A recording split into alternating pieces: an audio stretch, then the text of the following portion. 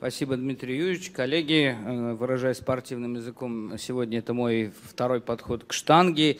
И сегодня, если позволите, я э, расскажу вам о состоянии вопроса, э, как бы это сказать, непростого, горячего, дискутабельного вопроса в нашей стране о качестве жизни урологического пациента. Почему непростого? Потому что, как высказались уже некоторые наши коллеги, эта вещь очень субъективная, на нее ориентироваться не надо. Некоторые вовсе считают, что пациенты не, э, пациентам не должна отводиться ведущая роль в определении своей собственной качества, своего собственного качества жизни. И э, об этом я бы хотел с вами сегодня поговорить. Знаете, э, вообще мое знакомство с этим вопросом началось очень непросто, потому что когда Дмитрий Юрьевич меня попросил, а, ну и поручил, можно сказать, э, заняться этим направлением и развивать его, то я сам лично находился, он этим сам меня поверг в некое состояние замешательства и растерянности. Я, собственно говоря, не знал, какой, с какой стороны подойти к данному вопросу, и мне помог пример из личной жизни. И вот на слайде вы можете видеть фотографию моего двоюродного дедушки, который был очень добрым, отзывчивым человеком, кроме того, был заслуженным народным артистом Армянской ССР. И особенность э, в том, что он умер в возрасте 61 года от рака предстательной железы. А, умер он, естественно, э, в то время ни о каком радикальном лечении речи не шло. И, по сути, э, он умер от осложнений гормонотерапии. Но что я помню ребенком, э, это то, что Эдгар Суренович умер в состоянии полного умиротворения. Он абсолютно был всем доволен, потому что, как он считал, что он успел прожить долгую и насыщенную жизнь, и советская медицина сделала для него все возможное. Ну, а рак есть рак, он не лечится. И когда я вижу, э, э, сравнил вот с современными нашими пациентами, которые проходят в на, через нашу клинику, вот в частности, это вот тот пример пациента, которого я о котором, которого я хотел привести в качестве примера, это пациент К, э, бизнесмен, 65 лет, то есть он уже на 4 года старше моего дедушки двоюродного, занимается парусным спортом, пациента диагностирован рак предстательной железы, ему выполнена робот-ассистированная операция, у него отрицательный хирургический край, а, удержание мочи удовлетворительное, удовлетворительная потенция, но пациент несколько, ну не то чтобы сказать недоволен, но разочарован, что ему пришлось провести 7 дней, 7 дней держали катетер, ведь он слышал, что есть робот, и робот творит чудеса. И когда я вижу эти два примера и сопоставляю их, я, понимаю, я понял одно, что наши пациенты – меняются очень сильно. Они меняются очень стремительно и успевают сформировать э, завышенные требования к нам и к нашим возможностям. Э, настолько стремительно, что за ними не поспеваем ни мы, ни научно-технический прогресс. И это ставит перед нами вопрос об определении дефиниции успеха в нашей специальности, успеха в урологии вы все прекрасно помните, что на заре развития роботической хирургии и э, роботической простатэктомии а, основными критериями, на которые мы опирались с точки зрения успешности проведенной операции, была э, так называемая трифекта, которая включала потенцию, э, удержание мочи и онкологические результаты. Через буквально 2-3 года мы уже заговорили о пентафекте. Сюда добавилось отсутствие осложнений и отрицательный и негативный хирургический край. Сейчас мы говорим об октофекте, и возникает логический вопрос, сколько критериев мы должны применять, чтобы всецело и полноценно могли бы а, описать и определить успешность нашего лечения. И будет ли их, например, так много, что наша фигура превратится и примет форму шара. И с этим вопросом мы обратились к литературе. И вот что ответила нам литература. Литература в первую очередь сказала нам следующее, что все относительно. И в зависимости от того, какие критерии мы применяем, а, наш успех э, может варьировать в достаточно широком диапазоне от 77 до 98 процентов. Второе, что более значимо и несколько парадоксально, это то, что хороший результат – это не всегда хороший результат, извините за тавтологию. Что это значит? Это значит, что если вы лечите пациентку от недержания мочи и добились полного удержания мочи, это далеко не значит, что пациентка уйдет от вас счастливая, благодарная и удовлетворенная. И здесь э, становится очевидным некий скрытый кризис взаимопонимания между нами и пациентами. Ведь если мы, врачи и хирурги, считаем лечение успешным в 85% случаев, то с нами соглашаются только 66% пациентов. И этот низкий уровень, уровень соответствия описан во многих исследованиях, и многие авторы говорят о необходимости разработки новых, оптимальных и объективных и всеобъемлющих э, критериев. И если вы спросите, э, э, попросите меня одним словом э, охарактеризовать посыл моей сегодняшней презентации, я скажу, что, наверное, он уместится в фразу что, о том, что концепция изменилась. Если в 20 веке мы очень успешно и активно оперировали такими понятиями, как онкологический, анатомический, функциональный результат, это были нашими основными инструментами, инструментами и точками приложения, то сегодня на заре 21 века, их все больше и больше вытесняют такие понятия, как удовлетворенность, качество жизни или э, так называемое PRO или Patient Reported Outcomes. Что же это такое? Ну, для пущего академизма мне бы хотелось привести дословный перевод, который дан этому термину FDA. Э, про это исследование того или иного аспекта жизни пациента, исходящего от самого пациента и не интерпретированное никем. А проблема наших исследований э, и проблема медицины в целом заключалась в том, что исследования, которые опирались на критерии, основанные на качестве жизни пациента, э, такие исследования занимали не более 5, доля таких исследований занимала не более 5% от всех исследований на момент, скажем, 1998 года. Если вас заинтересует эта тема, тема качества жизни, то я вам настоятельно рекомендую ознакомиться с работами вот этого человека. Это Фабио Эфикас, э, группа которого провела ряд замечательных, блестящих исследований. Э, в частности, группа Фабио Эфикаса показала то, что если мы берем период с 90 по 2000 год и с 2000 по э, сегодняшний день, по 2007 год на тот момент, на момент публикации статьи, то доля исследований, которые опираются на критерии, основанные на качестве жизни, а, увеличилась с 39 до 64%. Ну и, конечно же, э, на момент 2013 э, года доля э, таких исследований плюс – Э, исследований такого качества, которые позволяют делать нам, соответственно, извлекать из этих исследований рекомендации, которые мы можем использовать в клинической практике, достигла 20%. Э, вы, наверное, спросите меня, что такое ПРО и э, как к нему относиться, что, что мы с ним можем сделать.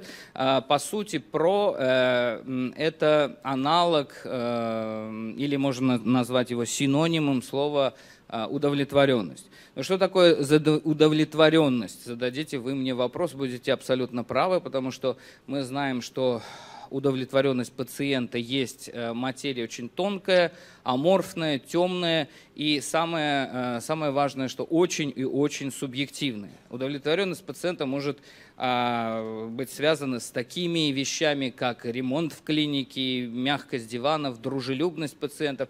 И э, это все правомерно, и с целью большей объективизации этого понятия и для того, чтобы с ним в конце концов можно было работать, был введен вот такой вот э, новый, можно сказать, инструмент, как Goal э, Attainment Scaling или достижение поставленных целей, изучение которого позволяет оптимизировать взаимодействие с пациентом и выстроить воистину персонифицированный подход. Он впервые был применен в 1960-х годах в психиатрии, к нам, к урологам, пришел через пациентов с интерстициальным циститом. Если мы выстроим все наши переменные в одну линию, то получим вот такое вот э, стройное линейное уравнение, где на конце мы имеем удовлетворенность пациентов, которая равна разнице э, и его ожиданий минус тех целей, которые он перед собой ставил и в конечном итоге достиг.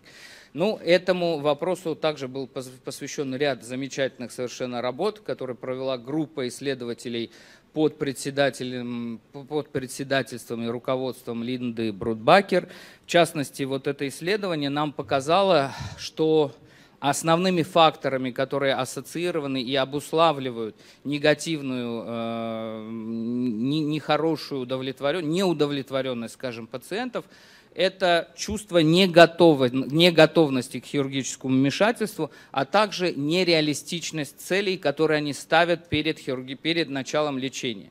То есть вместо того, чтобы э, ставить цель по устранить тот или иной симптом, например, я хочу удерживать мочу во время смеха или кашля, Пациентка э, говорит некие аморфные, стандартные, э, аморфные, абстрактные фразы, типа «я хочу жить активно, так же, как и раньше», или «я хочу также играть со своими внуками» и так далее.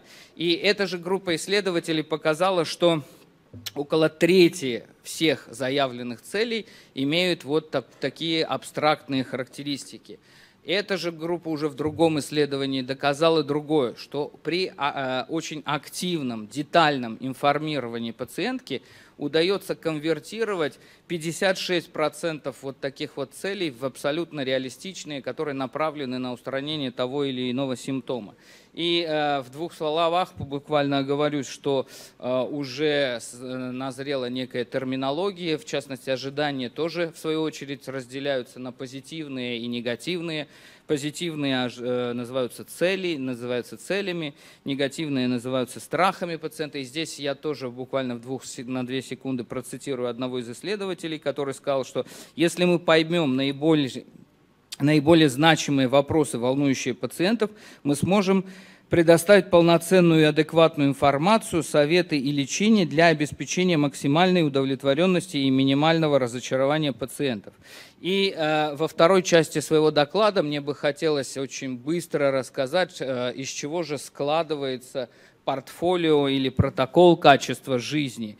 А, прежде всего надо сказать, что он, любой, любое качество жизни начинается вот с клинических профилей пациента, то, чем наша клиника активно занимается, как вы сегодня убедились, поскольку до того момента, как мы поймем, а, кто же наш среднестатистический пациент? Это, кстати, принцип пришел к нам из бизнеса, из маркетинга, и назывался он «Портрет среднего клиента». До того, как мы поймем, кто же наш среднестатистический пациент с мочекаменной болезнью, с раком предстательной железы, до того, как мы поймем, откуда он черпает информацию, какой у него уровень образования, как часто он э, советуется с родственниками, Э, мы, конечно же, мало что сможем сделать для обеспечения его качества жизни. А, ну и второе – это детальное изучение качества жизни до операции, до начала лечения. Для этого существуют многочисленные шкалы. Это шкала Карновского, шкала ЭКОК, их бесчисленное множество. Много есть инструментов по определению эмоционального и э, эмоционального профиля пациента. Много есть утвержденных опросников, направленных на выявление скрытой или латентной депрессии до, скажем, как показано в данном исследовании, нервосберегающей радикальной простатэктомии, которая позволяет выявить скрытую депрессию, которая ответственна за психогенную эректильную дисфункцию уже после операции, которую по ошибке некоторые принимают э, как э, следствие оперативного вмешательства. Ну и, конечно же, а самое важное – это консультирование. Помните, как показатели, показали исследователи Линды Бродбакер, чувство неготовности к хирургическому вмешательству является одним из наиболее негативных факторов, обуславливающих их неудовлетворенность. И здесь наша главная и основная задача – это сформировать у пациента э, именно чувство ответственного и самостоятельного выбора за тот или иной метод лечения.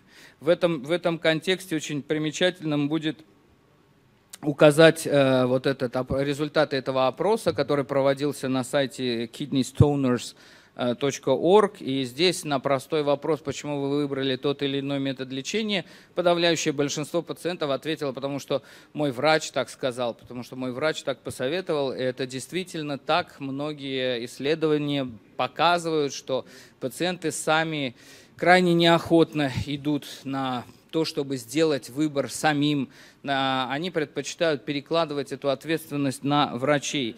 И э, в нашей клинике также было проведено э, исследование на эту тему. В частности, наше исследование, которое исследовало пациентов, которые выбирали между э, дистанционной литотрепсией и уретероскопией, четверть пациентов призналась, что врач в той или иной степени в Москве это происходило, повлиял на их выбор. Ну, проще говоря, склонил к тому или иному методу.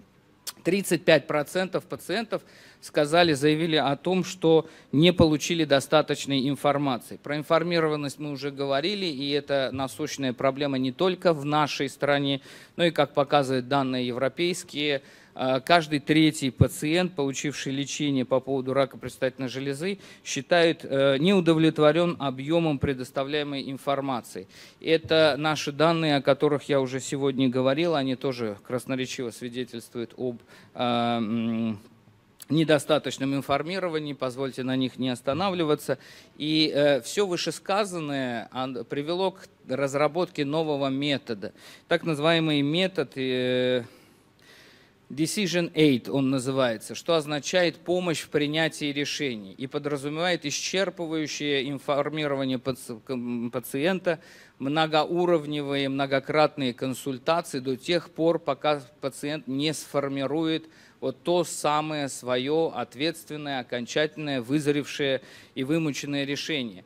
И надо сказать, что группа Cochrane э, даже провела большой анализ э, применения данного метода который включил в себя 3, 34 тысячи пациентов, и данный анализ показал, что действительно применение этого метода по сравнению с контрольной группой позволило а, повысить информированность пациентов, эм, повысить их восприятие ими хирургических и э, терапевтических рисков, а также снизить чувство недоинформированности и снизить чувство того, что врач в, те, в той или иной степени влияет на принятие решений. И говоря об этом, я хочу, чтобы вы понимали, что это не какие-то заоблачные высоты, это даже не будущее, это э, совершенно настоящее, в частности, американское Ассоциация урологов уже выпустила так называемый white paper, э, на основе которого э, должны внедряться данные методологии. Ну и, конечно же, э, все это подразумевает некие приемы или некие инструменты, которые есть у нас в арсенале. Это консультация, существуют определенные различные техники, утвержденные техники как правильно нужно консультировать пациентов, которые можно изучить. Они все э, имеют э, место быть в интернете, выложены в открытом доступе. То, что вы видите на слайде, это две основные техники, э, применяемые при сообщении пациентов плохих новостей. Кроме того, мультимедийное информированное согласие – это то, то, что мы делаем сейчас все чаще и чаще, используя наши гаджеты, это доступное информирование и объяснение пациенту сути заболевания операции, используя анимации, картинки, различные муляжи. И исследования показывают, что это действительно помогает пациентам усвоить материал и помогает повысить их удовлетворенность. Аудио и видеозапись консультации тоже может быть эффективным методом, поскольку, как показывают наши исследования, а, очень существенная доля наших пациентов все-таки после разговора с врачом идет и советуется с родственниками. Естественно, после этого они не могут воспроизвести всего того, что сказал врач, и не могут правильно интерпретировать и повторить их слова. И здесь запись консультации оказывает очень очень существенную помощь пациентам и родственникам, которые при, принимают совместные решения. Обучающие семинары, но эта практика довольно старая, она действительно очень эффективная. В данном исследовании показано, что посещение семинаров, например, помогло снизить количество пациентов, которые э, прерывают свое наблюдение, активное наблюдение по поводу рака предстательной железы и выбирают оперативное лечение с 25 до 11 процентов. Э, также очень э, широко применяется в настоящее время группа онлайн-поддержки. Что это такое?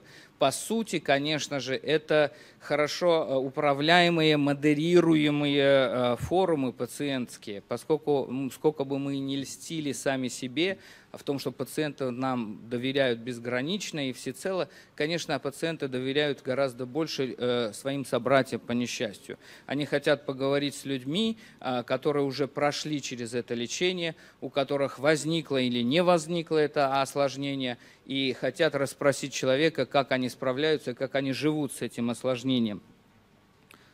И, э, конечно же, в заключении, буквально последние несколько слайдов, нам предстоит совершенствовать эти методики. В частности, нам предстоит научиться э, грамотно доносить до пациентов современные тенденции, современные веяния. В частности, а, то, что качество жизни хирурга, я бы сказал, у его удобства и эргономичность э, то, чем он работает, напрямую зависит от, э, от этого напрямую зависит качество результата и качество, э, в конечном итоге, качество жизни самого пациента. Например, вот это замечательное, на мой взгляд, исследование, которое показало, что хирурги, а, оперирующие при помощи роботической техники. Все эти преимущества, которые дает роботическая техника, это и визуализация, а, она позволяет уменьшить стресс, повысить эргономику и в конечном итоге повысить ну, просто сухо хирургический перформанс человека. И э, все это нам надо научиться объяснять пациенту, в частности, то, что когда нам будет приятно, то мы так прооперируем, что и пациенту будет приятно. Ну а э, мы, нам с вами только остается идти э, вперед, не останавливаясь, и искать жемчужины действительно в этом необъятном океане неизведанной э, материи, не, неизведанной терры инкогниты, э, делать исследований как можно больше, потому что открытых вопросов масса, и по каждому из них можно сделать отдельное конкретное исследование. Мы очень много делаем в настоящий момент исследований, они очень охотно принимаются на всевозможные европейские конгрессы, и э, в конце концов завершить свою презентацию я хотел сказать, что нам просто в этом аспекте, как клиницистам, просто нужно помнить наше урологическое библейское правило о том, что мы должны лечить своих пациентов так же, как мы бы хотели, чтобы лечили нас. Спасибо за внимание. Я считаю, что это блестящее выступление. Почему? Потому что касаешься поверхностно все, все, что, все, чего бы мы ни коснулись, это предмет отдельного, огромного изучения. Понимаете? И если вы думаете, что качество жизни э, никогда не придет к нам, э, то это ошибка. Это придет. Э, так же, как все эти ремонты красивые, которые сегодня, так же, как все эти температурные режимы, и все-все-все. И вообще, знаете, на самом деле мы должны понять, что в Москве из-под крана течет одна из самых качественных, вообще одна из самых качественных вода в Европе, в Москве очень высокого качества. Однако все пьют за бутылкой фильтрованную. Вот и все. Вот это надо понимать. Момент очень такой, знаете, поэтому все эти пациенты должны рассматриваться нами именно, именно с этих позиций. И просто нужно изучить этот вопрос один раз навсегда. Займет это совсем немного времени. У Малхасяна это заняло и займет много времени. Почему? Потому что это будет огромная работа, которую мы, естественно, представим на суд всех. Сегодня все диссертационные работы должны пройти интернет-контроль. И я, как член президиума ВАКа, постоянно с этим сталкиваюсь, потому что очень многие работы сегодня подвергаются жесткому контролю. И об этом тоже, на самом деле, как-нибудь нужно будет поговорить. Сейчас перерыв. Большое спасибо. Всех ждем в два часа.